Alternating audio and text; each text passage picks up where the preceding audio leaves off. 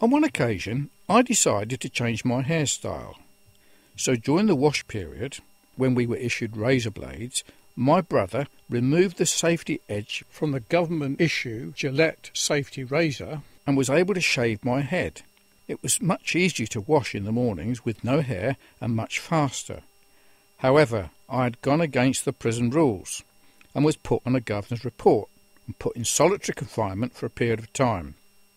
At the meal time, it caused an amusing stir, and I was to get laughed at when one of the cooks slapped a handful of strawberry jam on my head. After this, when my hair grew a little, I was able to razor a parting in my hair, which was really the beginning of the hair fashions for the skinhead.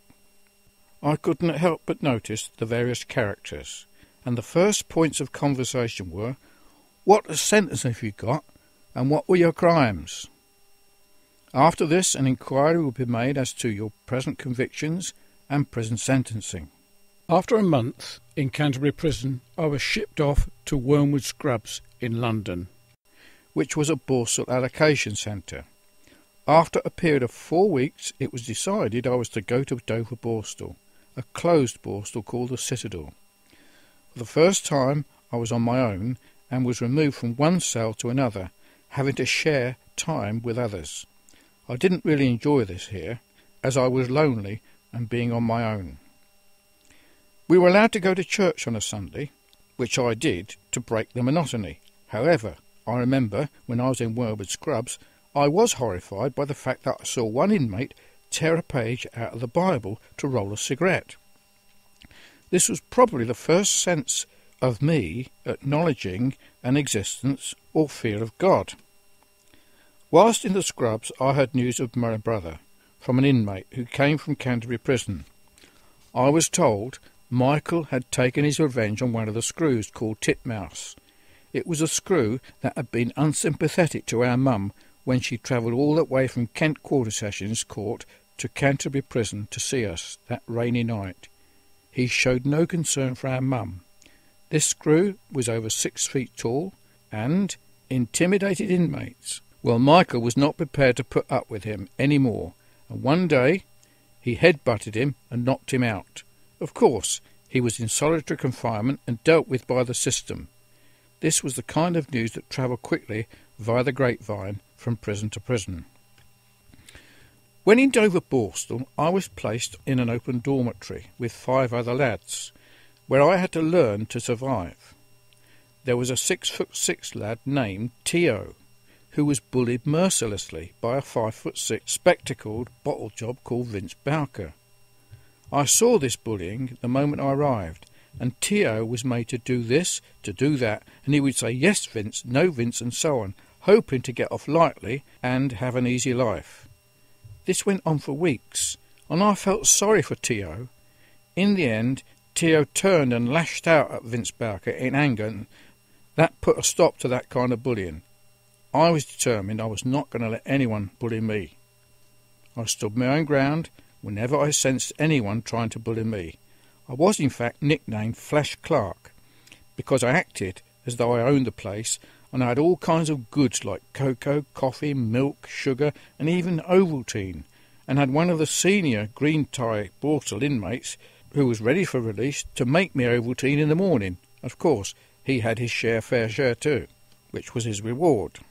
Scum, this is a film made about life in Borstal, featuring Ray Winstone. This is a real, true to life story of what it was like in Borstal. On another occasion, a six foot bully was moved into our dormitory because he had mercilessly bullied another inmate who, in fact, was a married man. He had asked for solitary confinement to get away from being bullied so the screws decided to put this lad in with me in the dormitory. We got on well until I one morning decided to have a joke on him. I tied his bootlaces together for a joke, but he didn't see it that way. When he realised who it was that had done this, he was in a raging temper, and he threw those tied shoes at me in anger. They hit me and gave me a black eye. Then he came at me. As he came to hit me, I was quick enough to take a defensive position and I hit him right on the jaw, and that knocked him to the ground.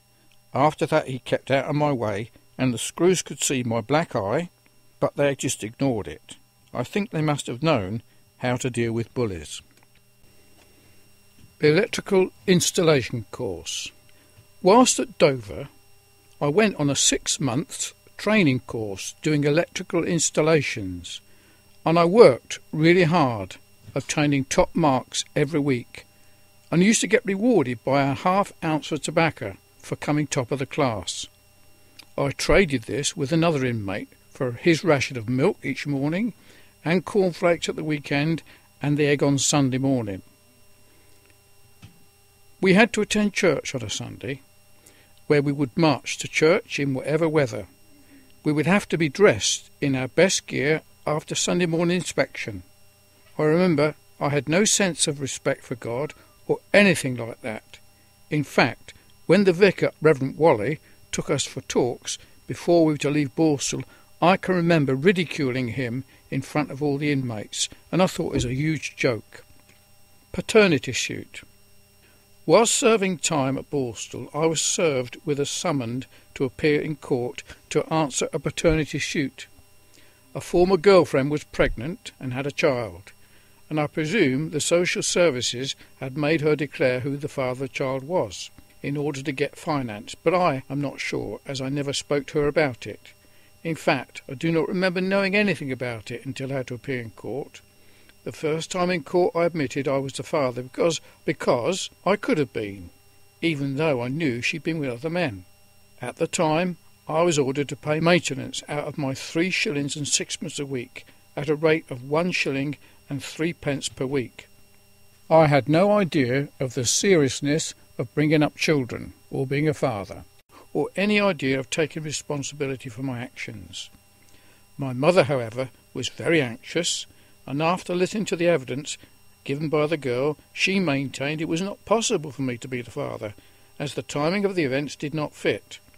She encouraged me to appeal, and she really fought the case for me. This I did with the aid of a solicitor. The girl had to prove I was the father of the child. I was the father of the child.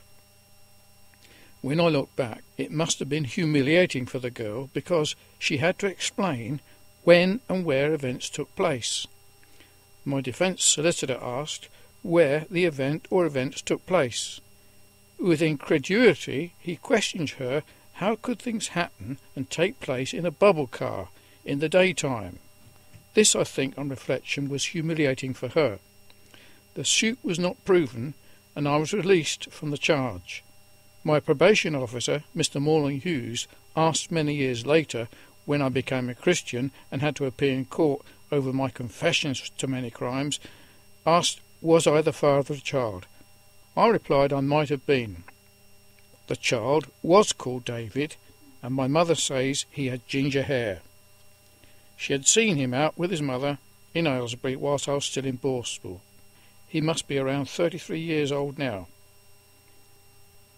I met all kinds of lads here in Borstal car thieves, burglars, forgers, gamblers. None of us had any idea or reason for our existence, but were probably looking looking for the best in life, but never finding it. When I was released, I was determined to have a good time. I wanted the best clothes, a good car, a speedboat, a caravan, you name it, I wanted all those things and intended to obtain them by one means or other. I had learned many criminal ways and had no intention of going straight. I just had no intention of getting caught at any crime I may choose to be involved in. I was released from Borstal a year later, and it was during this time I began to get all the kinds of things through criminal activities in Aylesbury. I bought my first car for a hundred pounds when I came out of Borstal. It was a gold Mini 850cc.